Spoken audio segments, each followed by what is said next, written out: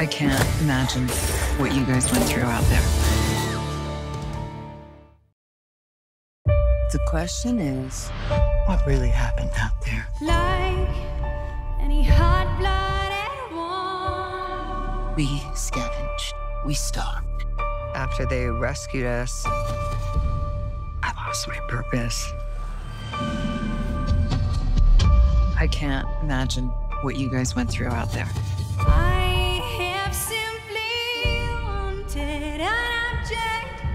to crave. Ah! Don't eat that kind. It's poisonous. Like kill you poisonous or like trip your balls off poisonous. What does the person who sent these postcards want? Obviously a threat. Maybe somebody talked.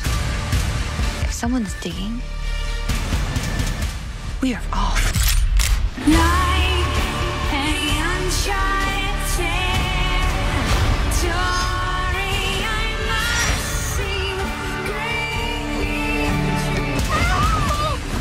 I know when you look at me, you don't see someone that you should be afraid of, but you're wrong.